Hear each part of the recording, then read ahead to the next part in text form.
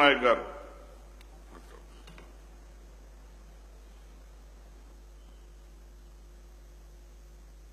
అధ్యక్ష సింగారెడ్డి కాంగ్రెస్ పై మాట్లాడడానికి నాకు అవకాశం ఇచ్చినందుకు మీకు ధన్యవాదాలు తెలుపుతున్నా అధ్యక్ష. సింగారెడ్డి కాంగ్రెస్ కంపెనీ పద్దెనిమిది వందల ఎనభై తొమ్మిది సంవత్సరాలలో బొగ్గు తవ్వకాలు ప్రారంభించిన కంపెనీ అధ్యక్ష. సింగరేణి చరిత్ర పరిశీలించినట్లయితే చాలా చరిత్ర ఉంది అధ్యక్ష.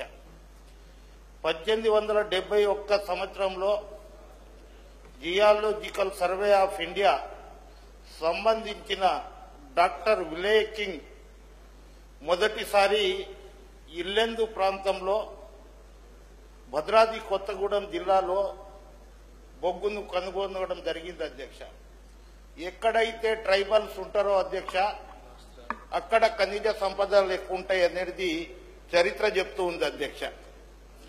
కానీ పద్దెనిమిది వందల ఎనభై ఆరు సంవత్సరంలో ఇంగ్లాండ్కు సంబంధించిన దక్కన్ కంపెనీ లిమిటెడ్ మైనింగ్ హక్కులు పొందింది అధ్యక్ష.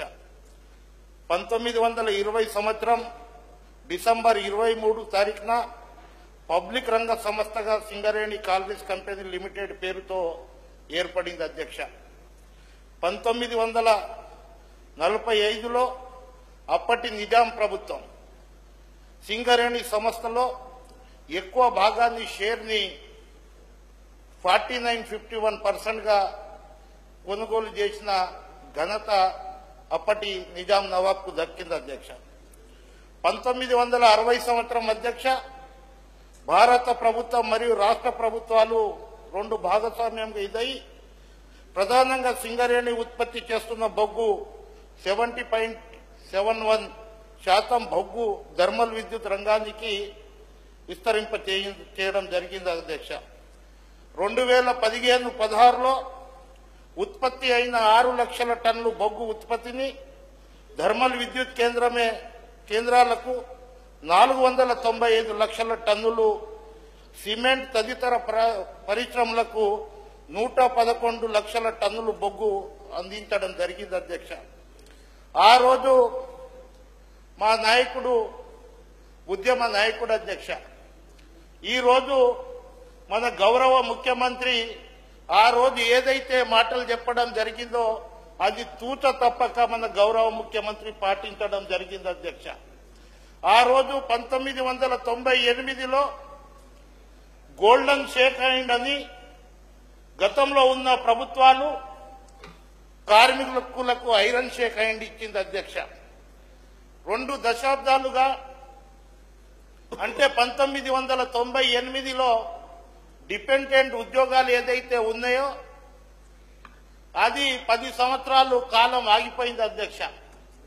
గౌరవ ముఖ్యమంత్రి తెలంగాణ రాష్ట్రం ఏర్పడిన తర్వాత ఆ ఉద్యోగాలు ఇవ్వడం ఈ ప్రభుత్వానికి గౌరవ ముఖ్యమంత్రికి ఘనత దక్కిందని మీ ద్వారా సభకు తెలియపరుస్తున్న అధ్యక్ష. అదేవిధంగా అధ్యక్ష మొత్తం యాభై ఆరు వేల మంది కార్మికులు ఉన్నారు అధ్యక్ష. ఈ యాభై ఆరు వేల మంది కార్మికులలో ఇప్పటికే మనకి ఇంతకు ముందు మన బొగ్గు గనుల శాఖ మంత్రి నలభై ఆరు గనులు ముప్పై ఏమో భూగర్భ జలాలకు ఉంది.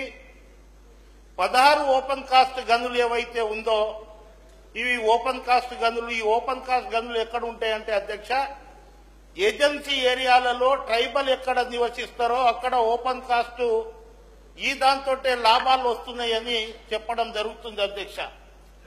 కానీ అరవై ఒక్క శాతం కార్మికులు పనిచేస్తున్న ఇవాళటికి అధ్యక్ష కొన్ని విషయాలు మీ దృష్టికి తీసుకురావాలి అధ్యక్ష.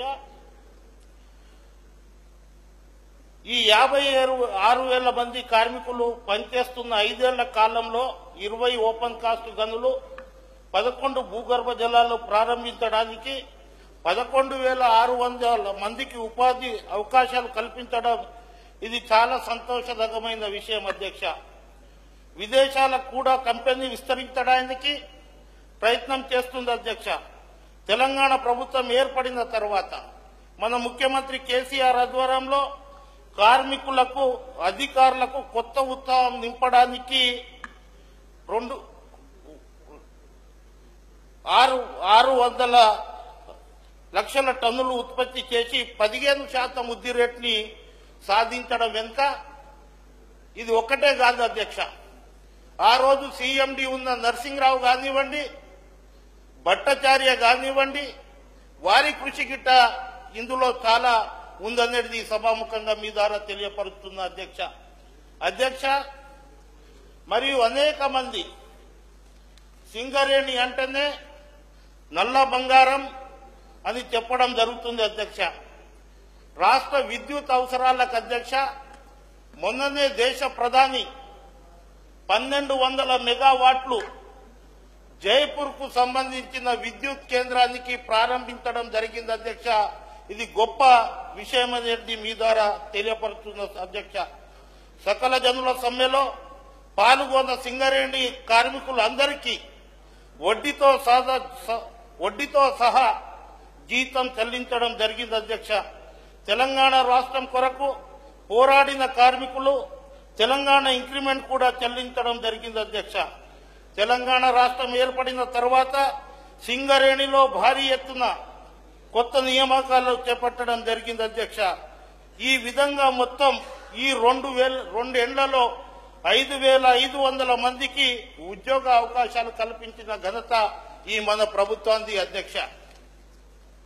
అధ్యక్ష గౌరవ ముఖ్యమంత్రి గారు చొరవతో పంతొమ్మిది వందల తొంభై ఎనిమిదిలో ఏదైతే ఉద్యోగాలు వస్తాయి అని ఆ రోజు ఉద్యమ నాయకుడు సింగరేణిలో బహిరంగ సభలో మాట్లాడుతుంటే వీళ్ళు అధికారంలో వస్తారంట వీళ్ళు ఉద్యోగాలు ఇస్తారంట అని మమ్మల్ని చూసి నవ్వినోళ్ళు అధికారంలో వచ్చిన తర్వాత ఆ రోజు ఏ మాట అయితే చెప్పినామో ఆ దానికి కట్టుబడి ఉండి ఆ ఉద్యోగాలు ఇప్పించిన ఘనత ఈ ప్రభుత్వానికి అధ్యక్ష. అధ్యక్ష ఈ విధంగా చెప్పుకోబోవాలంటే సింగరేణి కాలనీస్ అత్యధికంగా బొగ్గు ఏజెన్సీ ప్రాంతాలైన ఆదిలాబాద్ వరంగల్ ఖమ్మం ప్రాంతాలలో విస్తరించి ఉంది అధ్యక్ష. ఈ ప్రాంతాలలో గిరిజనులు ఎక్కువ మంది ఉన్నారు అధ్యక్ష.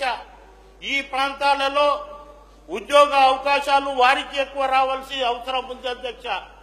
ఇప్పటి వరకు ఇక్కడ మనం చూస్తూ ఉంటే అధ్యక్ష అనేక జడ్జిమెంట్లు ఉన్నాయి అధ్యక్ష. ఇప్పటికీ ఎస్సీ ఎస్టీ నాయకులు అధ్యక్ష చాలా సార్లు అధికారుల దృష్టికి తీసుకురావడం జరిగింది అధ్యక్ష. ఏడున్నర శాతం సెంట్రల్ గవర్నమెంట్ రిజర్వేషన్ ఇస్తే రాష్ట్ర ప్రభుత్వం ఆరు శాతం ఇవ్వవలసిన ఉంది అధ్యక్ష. కానీ ఇప్పటికీ సింగరేణిలో ఫోర్ పాయింట్ నైన్ పర్సెంటే ఇస్తున్నారు అధ్యక్ష. మీ ద్వారా ప్రభుత్వానికి గిరిజనుల ప్రతినిధిగా మీ ద్వారా ప్రభుత్వాన్ని దృష్టికి తీసుకురావడం జరుగుతుంది అధ్యక్ష. ఇందులో ఆరు ఆరు శాతం కనుక రిజర్వేషన్ పాటిస్తే ఆరు వందల అరవై ఐదు పోస్టులు ఈ గిరిజనులకు వచ్చే అవకాశాలు ఉన్నాయి అధ్యక్ష. ఈ తక్షణమే ప్రభుత్వం చర్య చేపట్టవలసిన అవసరం ఉంది అధ్యక్ష. ఇవాళటికి ఐదు వేల ఐదు వందల ఉద్యోగాలు ఇచ్చినాం ఏజెన్సీ ప్రాంతాలలో ఓపెన్ కాస్ట్ లేకపోతే ఇవాళ సింగరేణి ముందు కూడా ఉండకపోయేది అటువంటిది అధ్యక్ష గిరిజనులు ఎన్నో రోజుల నుంచి ఎదురు చూస్తున్నారు అధ్యక్ష. మీ ద్వారా అతి త్వరలోనే బొగ్గు గనుల శాఖ మాత్యులు లేరు కానీ అతి త్వరలోనే ఏదైతే ఎస్టీ అసోసియేషన్ ఉందో వారితోటి ఒక సమావేశాన్ని ఏర్పాటు చేయవలసిన బాధ్యత ప్రభుత్వం పైన ఉంది అధ్యక్ష. అధ్యక్ష ఇంతకు ముందే జీఓఎంఎస్ నెంబర్ ముప్పై నాలుగు అధ్యక్ష. అక్కడ ఏజెన్సీ ప్రాంతాలలో ఇండ్లు పోయినాయి అధ్యక్ష. అక్కడ అంతకుముందు నాందేళ్ళ మనోహర్ కమిటీ అంతకుముందు రాజన్న దొర కమిటీ రెండు పరిశీలించిన తర్వాత ఆ రోజులలో భట్టాచార్య సీఎండి ఉన్నప్పుడు ఐదు వందల యాభై ఐదు ఉద్యోగాలు ఇవ్వాలని ప్రభుత్వానికి రికమెండ్ చేయడం జరిగింది. అది ఇంతవరకు ఆచరణలో లేదు అధ్యక్ష. గిరిజనులు ఎదురు చూస్తున్నారు అధ్యక్ష. ఇంకోటి అధ్యక్ష మరియు లాభాలలో అనేక జడ్జిమెంట్లు ఉన్నాయి. డిఓఎంఎస్ నంబర్ నలభై ఒకటి. లాభాలలో గిరిజన ప్రాంతాలలో ఏదైతే సింగరేణికి లాభం వస్తుందో అందులో ఇరవై శాతం ఖర్చు పెట్టాలనేది ఉంది అధ్యక్ష. అది ఆచరణలో అమలు అయితలేదు అధ్యక్ష. మీ ద్వారా ప్రభుత్వం దృష్టికి తీసుకువస్తున్న అధ్యక్ష. సొంత జడ్జిమెంట్ ఉంది అధ్యక్ష. ఆ సొంత జడ్జిమెంట్లో అనేక విషయాలు పొందపరచడం జరిగింది అధ్యక్ష.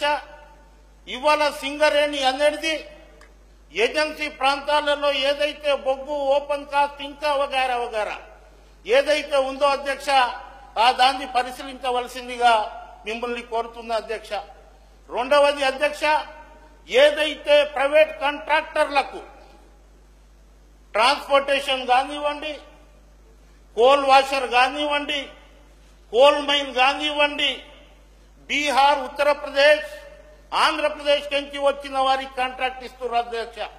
ఓపెన్ కాస్ట్ ఎక్కడైతే ఉందో ఎక్కడైతే గిరిజనులు ఉన్నారో వారికి ట్రాన్స్పోర్ట్ ఇవ్వాలి అధ్యక్ష. పన్నెండు శాతం ప్రకారం ఇచ్చిన వేలాది బండ్లు అక్కడ నడుస్తున్నాయి అధ్యక్ష.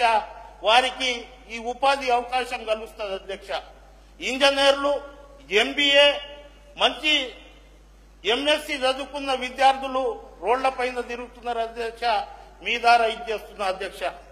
మన ముఖ్యమంత్రి ఎస్సీ ఎస్టీ పిల్లలు టాటా బిర్లా కావాలని ఎప్పుడు ఈ అరవై సంవత్సరాలలో వీళ్ళు ఉద్యోగాలే అడుగుతున్నారని ఈ ప్రభుత్వం వచ్చిన ఐదు సంవత్సరాలలో వీళ్ళు ఉద్యోగాలు ఇచ్చే విధంగా తయారు కావాలని ఉద్దేశంతో గౌరవ ముఖ్యమంత్రి గారు అనేక సందర్భాలలో అధికారుల దృష్టికి తీసుకురావడం ముఖ్యమంత్రి దగ్గర నేను కూర్చోవడం అనేక సార్లు వీళ్ళు టాటా బిర్లా ఎప్పుడు మాకు ఉద్యోగాలు ఇవ్వని అప్లికేషన్ పెట్టుకుంటారు. వీళ్ళు ఉద్యోగాలు ఇచ్చే విధంగా తయారు కావాలని ముఖ్యమంత్రి మైండ్లో ఉంటే అధ్యక్ష కొంతమంది అధికారులు కొంతమంది బ్యాంకర్లు టాటా బిర్లా కాదు కదా భికారి బిర్లా చూసినట్లు చూస్తున్నారు అధ్యక్ష.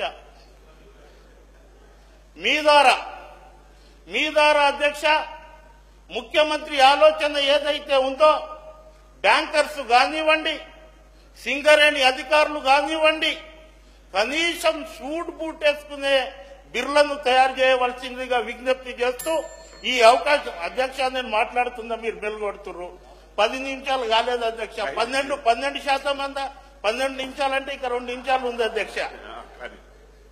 సమస్య చాలా ఇది ఉంది అధ్యక్ష. చాలా సమస్య ఏ విధంగా ఉందంటే అధ్యక్ష ఇవాళ ఈ విధంగా చెప్పుకొని పోవాలంటే ఆ రోజులలో ఉద్యమ నాయకుడు మన ముఖ్యమంత్రి గారు ఇదే కాదు సింగరేనే కాదు అధ్యక్ష గిరిజనుల పక్షపాతిగా గిరిజనులు బాగుపడాలనే ఉద్దేశంతో ఇవాళ ఎస్టీలు బాగుపడాలనే ఉద్దేశంతో ఎస్టీలు బాగుపడాలనే ఉద్దేశంతో బీసీలు బాగుపడాలనే ఉద్దేశంతో మైనారిటీలు బాగుపడాలనే ఉద్దేశంతో ఇవాళ ఈ రాష్ట్ర ప్రభుత్వం గత డెబ్బై సంవత్సరాలలో ఏ ప్రభుత్వం చేయని విధంగా కృషి చేస్తున్న మన ముఖ్యమంత్రికి మీకు ధన్యవాదాలు తెలుపుతూ సెలవు తీసుకుంటున్నా అధ్యక్ష. కోమటిరెడ్డి రాజగోపాల్ రెడ్డి గారు. అధ్యక్ష ఈరోజు